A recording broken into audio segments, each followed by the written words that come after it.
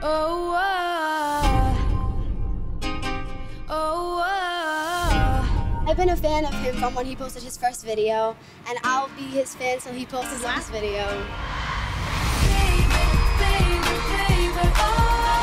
You hear these stories how tough it is for adults. He's 16 and he's doing it all on his own.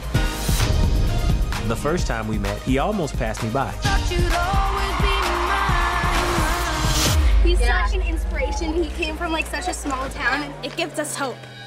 I think to myself, I was once chilling in my room just in a regular place, and now I'm in this big world.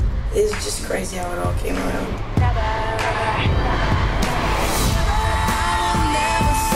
He's living an extraordinary life, but it's just like you or me.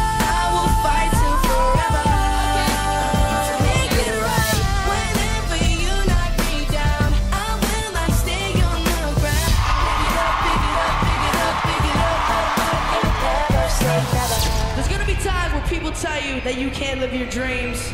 This is what I tell them.